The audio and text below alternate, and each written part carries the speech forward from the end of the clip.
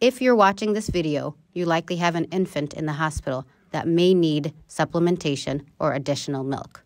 We would like to share with you a recent discussion on this topic. The Minnesota Breastfeeding Coalition, local medical experts, Brighter Health MN, and local Islamic scholars met to give guidance to Muslim families on the use of pasteurized donor human milk. Now, for preterm infants, in adi- those are the children that are born less than 37 weeks. In addition to all of above, there's more specific interest.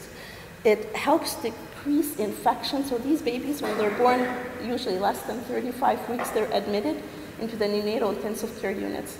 And now in our units, we take care of babies that are born as early as 22 weeks. So very, very immature, very young babies, as you can see in the picture. So um, human milk helps decrease, and I'm, right now I'm specifically talking about mom's milk, but I will go into how do- donor milk also helps with that. So we, um, mom's milk helps decrease sepsis or infection throughout the baby's stay, and it helps decrease a very bad disease that happens in the gut. It's called necrotizing enterocolitis. I'm going to talk about it next slide, and I apologize in advance. I am going to show a picture that is pretty ugly, but I think we need to see why it's important to have it in preterm infants. It also, in preterm infants, it's even more important for neurodevelopment or brain development, and it has been directly related. Like every amount of mom's milk that the baby receives in the NICU is correlated by improved cognition at three years of age. And then they got imaging, MRI studies, and they saw that the brain volume itself was bigger. And it's dose related. The more mom's milk, the better improvement in cognition and in brain development. So this is, again, I apologize about this picture, but this is what necrotizing enterocolitis is. This is um, a very common, it's the most common gastrointestinal emergency, and it's devastating in the preterm infant. These babies are getting, like the first week, they're very sick, but then they got better, they get better. But by two or three weeks, they suddenly have this really bad disease where their belly blows up and their gut is, gets very inflamed, and it's a very serious illness. About 5 to 10% of, and when they get that, 30% of them are gonna die. Like- Like 30 to 50% in some places. And those that don't, and they die and receive surgery, they have problems long term. I had a baby that was born at about 25 weeks, was doing very well, and by three weeks, and, and the, we looked at the brain, how it's doing, and the brain looked good. By three weeks, it suddenly developed this necrotizing enterocolitis. It did survive, but she was there for months on the ventilator. And when we looked at her imaging again, the brain had a lot of cystic lesions. It looked like Swiss cheese. And that maybe two years later, her head to size was very small. She couldn't walk, she couldn't talk. So it's an acute inflammation, not just of the gut, but of the whole body that affects that can affect the preterm baby lifelong. They can, if they have surgery, they can have short gut. They can have neurodevelopmental impairment. That means they can have cerebral palsy and delay. So it's a very, very bad disease. When you see a child, you remember it for your for a lifetime. So one of the things about um, what we do is pool the milk, is what uh, Dr. Fahim brought up earlier. Um, and what that involves is we take three to five donors, uh, at least three to five, sometimes more, um, and combine their milk into what uh, we call a pool. After it's been thawed, it will be put into these pots and strained, um, and then mixed thoroughly. Um, once that happens, then it is bottled and sealed. Uh, the pooling part of it um, is needed uh, because of the variability we see uh, amongst uh, individual donors or between individual donors, um, particularly in the nutrient content. Uh, one a donor's milk can uh, vary anywhere between 50 and 30, 15 and 30 uh, calories per ounce.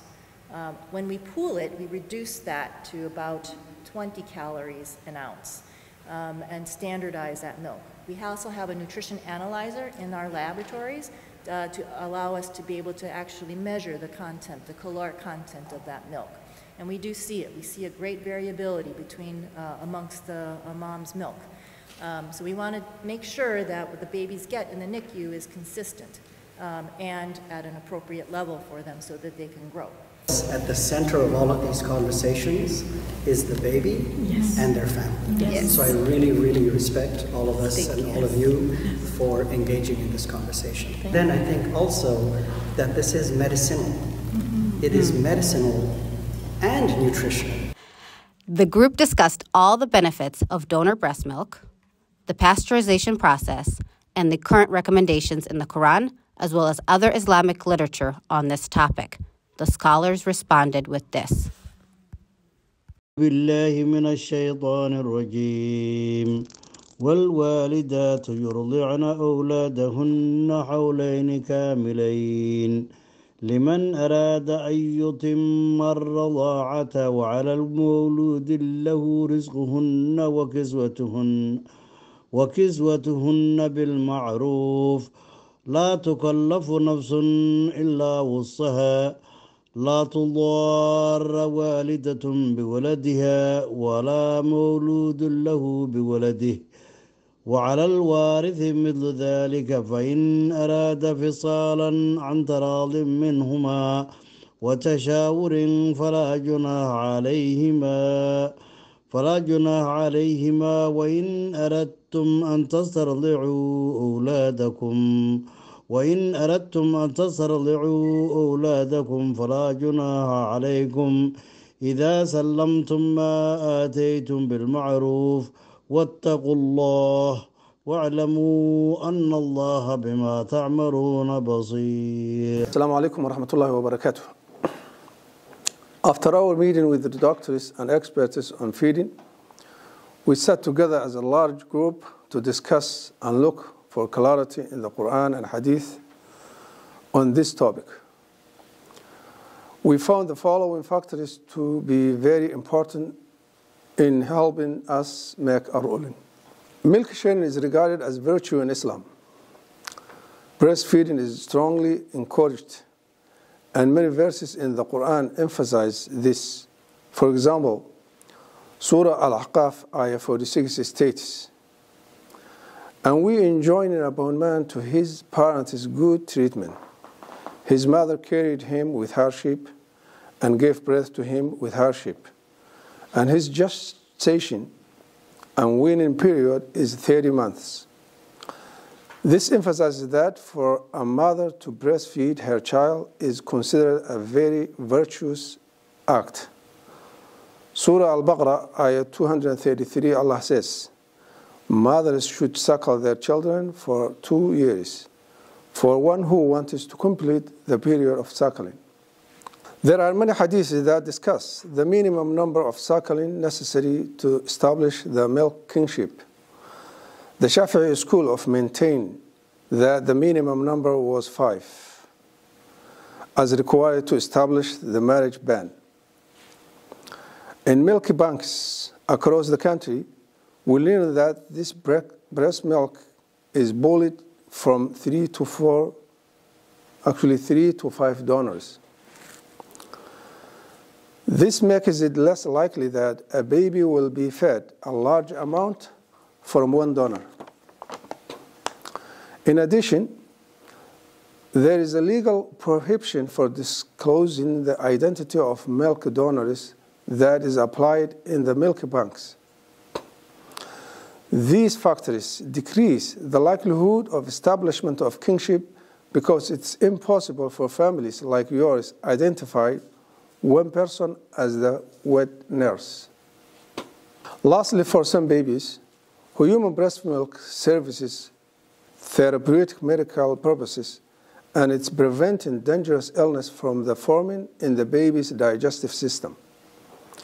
According to the Fatwa Committee's decision, regardless of donors' religious beliefs, the use of heat-treated donor milk for that specific reason aligns with the Islamic Sharia's law goals, which prioritize the preservation of human life.